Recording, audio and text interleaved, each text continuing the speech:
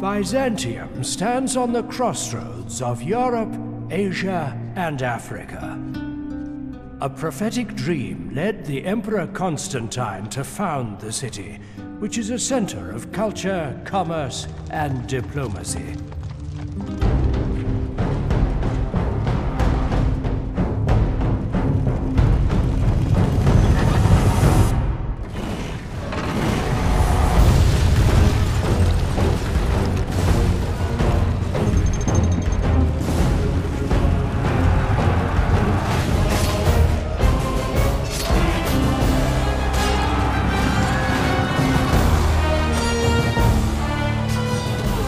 For the dream of this land to become an empire, it requires the strength and courage of one willing to take charge of perhaps the most vibrant city in the world.